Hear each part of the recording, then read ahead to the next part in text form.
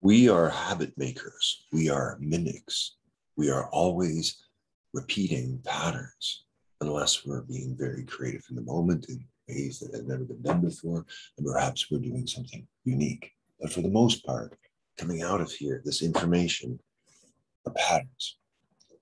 These patterns can be categorized. These patterns can be categorized into 72 conversation types, which are in a card set, which is part of the conscious communication card set, which is part of the new paradigm toolkit. And I'm Captain Sweep, and I'm bringing forth this to you in a manner that may not be quite normal. Hmm.